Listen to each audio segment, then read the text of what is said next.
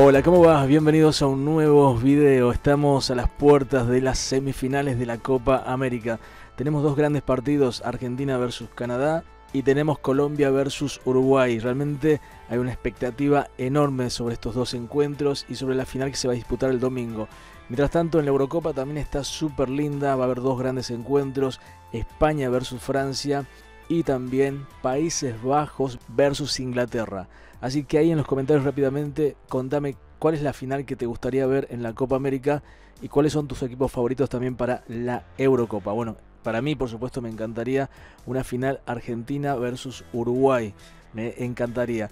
Y en la Eurocopa me encantaría un España versus Países Bajos. Me encantaría que, que España pase y también por supuesto Inglaterra quede fuera. Pero bueno, vamos a ver qué pasa este martes y este miércoles con estos dos grandes partidos. En Uruguay también la expectativa es máxima porque han dejado afuera a Brasil, una de las grandes candidatas de siempre, y ahora se van a enfrentar a otra gran candidata que es Colombia, que tiene muy buen fútbol, está demostrando día a día que realmente es un equipazo con un James estelar y vamos a ver qué sucede en este gran partido que para muchos es una final anticipada entre Colombia versus Uruguay. Incluso los relatores uruguayos dicen, miren este gran partido, todo el mundo pone sus ojos en Colombia, en Uruguay los dos equipos que mejor fútbol han hecho. Y también dice el periodista uruguayo, en este caso Sergio Gorsi, de Sport 890, que Uruguay tiene que celebrar estar entre las cuatro mejores. Pero ahí le tiró un palito a Argentina diciendo que Argentina todavía no tiene nada que celebrar. Es lo que yo entendí.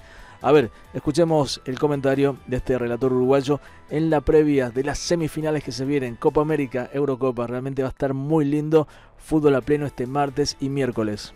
Ya estamos en semifinales. Me encanta. Me encanta que quienes creen que no se puede festejar un cuarto puesto en un mundial pongan que estar entre los cuatro mejores de América es fantástico. Y lo es por el rival. Porque claro, si nos hubiese tocado una semifinal con Canadá, ¿cuánto rato podemos festejar? Si nos tocara con Ecuador o con Canadá, pero nos tocó con Brasil, papá. Nos tocó con Brasil. Qué error que cometió el futbolista brasileño que se metió con el con Uruguay. Se metió, dijo ahí cosas. Se le contestó como me gusta a mí, en la cancha. Se le contestó en la cancha primero y después Luis Suárez liquidó el partido después. Estuvo hermoso estuvo lindo, siempre lindo ganarle a Brasil, poner las cosas en su lugar. Y ahora Uruguay espera a Colombia. Rival dificilísimo si los hay. Aquí en la Copa se habla de Colombia y de Uruguay, de Uruguay y de Colombia, porque Argentina, por más campeón del mundo que es, y lo difícil, yo entiendo, eh, miren que yo entiendo lo de Argentina, es muy difícil mantener un nivel de campeón de América y del mundo. Cualquier cosa que hagas va a ser menos que el día que fuiste campeón de América del Mundo. O sea que eso eh, es algo que, que, nos ha pasado a nosotros más de una vez y que le pasa ahora a Argentina. Pero todo el mundo habla de Colombia, todo el mundo habla de Uruguay, y mientras Argentina jugará con Canadá, nosotros nos enfrentaremos. Sin duda el hecho de que Canadá esté entre los cuatro mejores, en algún punto le baja un poquito el precio a estar en semifinales. Pero, pero bueno, se armó un fixture con todos lo bueno de un lado y Argentina y los que rajen del otro.